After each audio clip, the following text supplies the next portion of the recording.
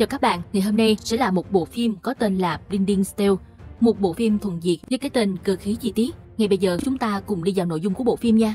Bleeding Steel là một bộ phim hành động khoa học viễn tưởng Cyberpunk của Trung Quốc năm 2017 do Leo Zhan và các ngôi sao Thành Long đạo diễn và viết kịch bản. Phim được phát hành tại Trung Quốc vào ngày 22 tháng 12 năm 2017. Tại Hoa Kỳ, Lionsgate Premiere phát hành bộ phim tại các rạp và trên VOD vào ngày 6 tháng 7 năm 2018. Phim thu về 48,8 triệu đô la Mỹ tại phòng vé.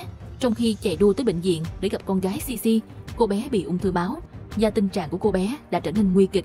Ngay trước khi trở nên nguy kịch, cô bé muốn được tổ chức với bố của mình. Tuy nhiên, đặc vụ Hồng Kông Đinh Dông được đồng nghiệp Xiao Su thông báo rằng bác sĩ Jem, một nhân chứng quan trọng đang gặp nguy hiểm.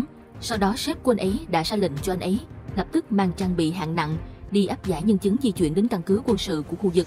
Nếu áp giải nhân chứng thất bại, sẽ ảnh hưởng đến sự an toàn của cả khu vực. Ninh dừng lại ngay bên cạnh ngoài bệnh viện.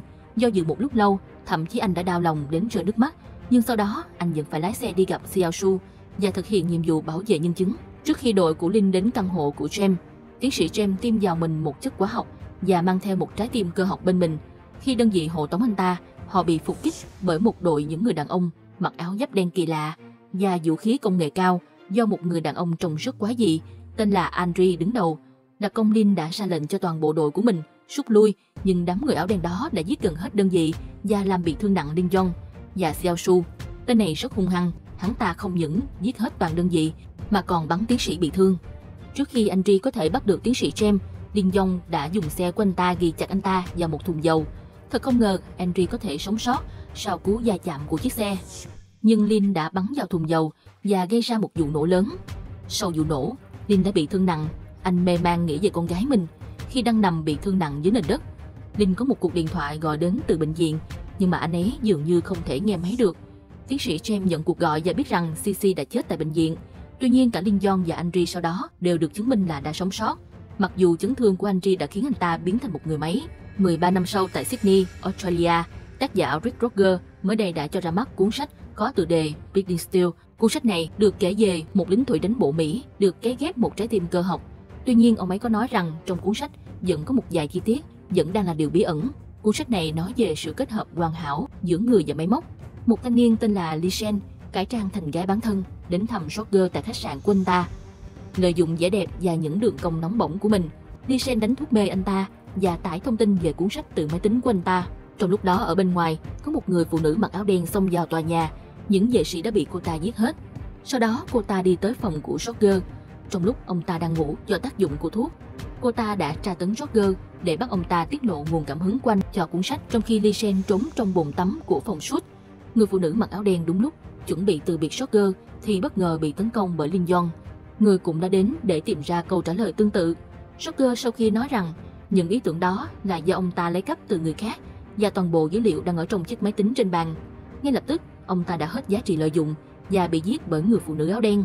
Điền Dòng và người phụ nữ áo đen sau đó đã có một vụ ẩu đả với nhau. Tuy nhiên sự xuất hiện của cảnh sát buộc mọi người phải rút lui. Chỉ vài giờ sau đó, tin tức về cái chết của nhà văn Roger bao phủ toàn bộ thành phố.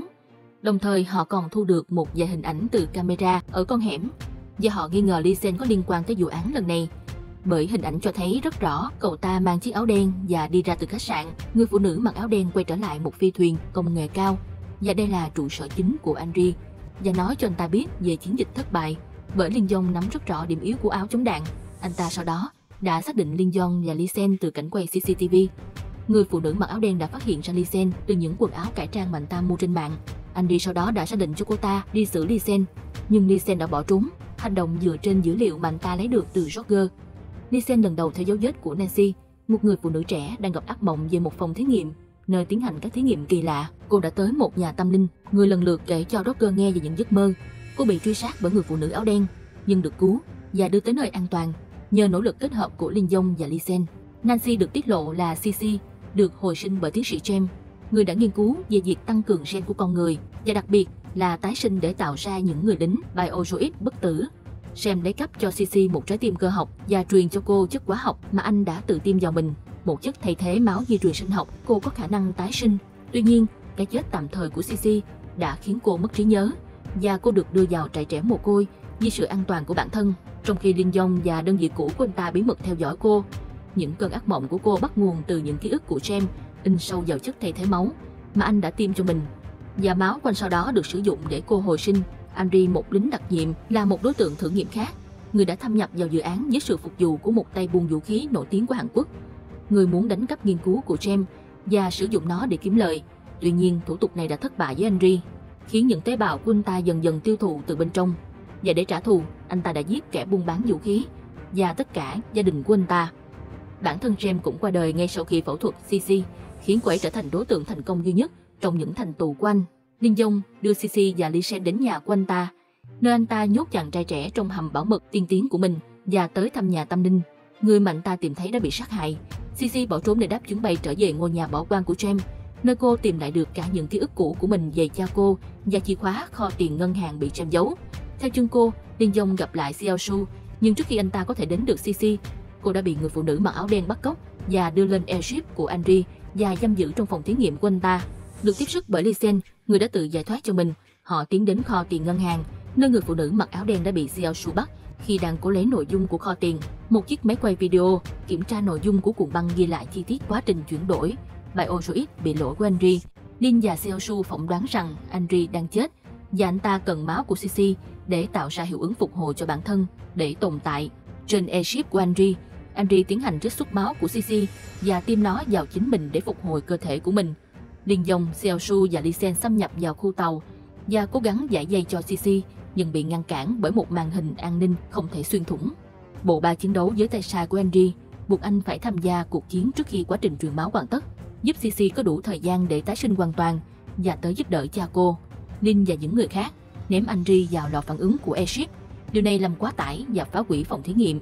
Nhưng Lee Shen bị dính vào một vụ nổ. Xiaoshu và CC cố gắng thoát khỏi tàu bay bằng cách nhảy dù. Nhưng Linh Dông bị Andri tấn công trước khi anh có thể tham gia cùng họ.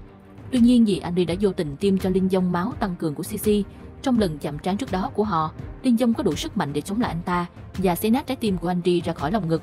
Không có dù, Linh nhảy khỏi airship trước khi có một vụ nổ cuối cùng phá hủy chiếc tàu, giết chết Andy. nhưng Xiao Su và CC đã bắt được anh ta bằng cách sử dụng tấm tán của máng trượt của riêng họ. Sau đó khi Linh Dông và CC và cả Xiao tận hưởng thời gian bên nhau, Linh biết được từ đồng nghiệp của mình rằng Lee Sen là con trai của kẻ buôn bán vũ khí, người đã tìm kiếm nghiên cứu của James và trong nhiều năm anh ta đã lên kế hoạch trả thù Andrew vì tội sát hại gia đình của mình. Linh cũng nhận ra rằng Lee từng là người bạn của Nancy, Cici ở trại trẻ mồ côi và đã có những hành động như tình cảm chân thành dành cho cô ấy. Ở Na Uy, Lee Sen được cho là đã sống sót và hiện đang cung cấp cuốn băng có nghiên cứu của James cho người mua quan tâm nhất. Bộ phim kết thúc rồi, hy vọng các bạn thích những thể loại phim như thế này. Hẹn gặp lại các bạn ở những bộ phim tiếp theo.